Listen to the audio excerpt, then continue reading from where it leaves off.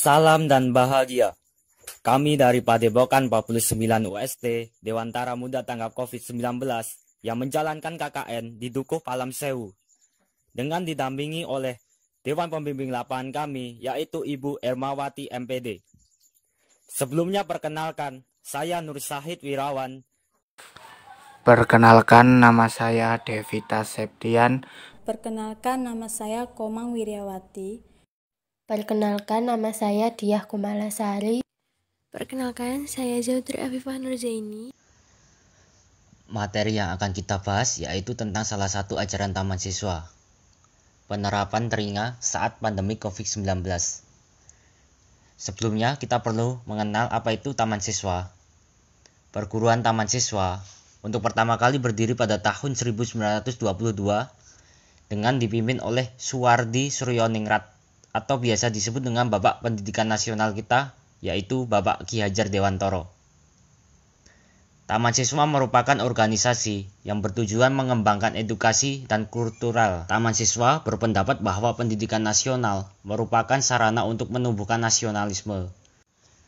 Salah satu ajaran Taman Siswa yang berguna saat pandemi COVID-19 yaitu ajaran ringa yang terdiri dari ngerti, ngerasa, dan ngelakoni.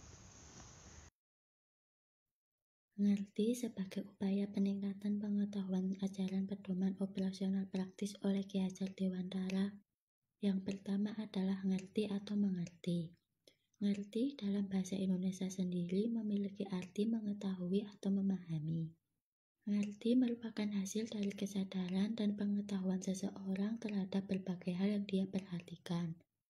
Pada sektor kesadaran, adanya faktor kondisional dan faktor situasional yang disadari, mampu memberikan pengaruh sendiri terhadap tingkatan seseorang untuk dimengerti. Sedangkan untuk ranah pengetahuan seseorang yang perlu melibatkan aktivitas, berpikir dalam dirinya baik itu dengan cara berpikir realistik, evaluatif, maupun analogis, kesadaran diri itu menurutnya amat penting untuk perlindungan diri.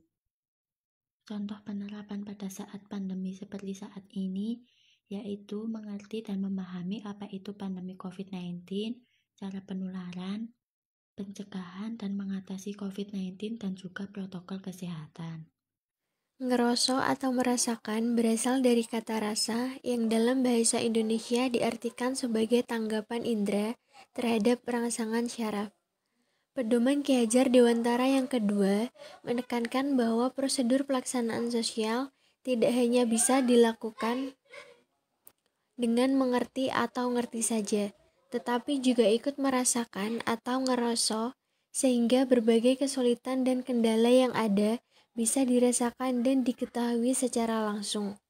Apabila terdapat permasalahan yang sudah dirasakan, maka solusi yang diperlukan dalam menyelesaikan masalah tersebut bisa langsung tepat sasaran.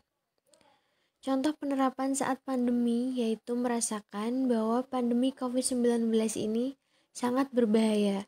Maka dari itu harus saling membantu dan menyelesaikan masalah yang berkaitan dengan COVID-19 ini. Kemudian, ngelakoni atau melakukan memiliki arti mengerjakan, mengadakan, melaksanakan, melazimkan, atau memperlakukan. Orientasi orang untuk melakukan biasanya adalah orientasi hasil motivasi dan keinginan. Pengaruh sosial maupun untuk merubah sikap seseorang sehingga keputusan dalam tindakannya pun bisa berubah. Contoh, penerapan saat pandemi yaitu menjalankan protokol kesehatan dengan baik dan benar, seperti penerapan memakai masker, mencuci tangan, menjaga jarak, mengurangi mobilitas, menjauhi kerumunan, menjaga pola makan sehat dan istirahat cukup, agar imun terjaga dengan penerapan tersebut dapat mengurangi penularan COVID-19.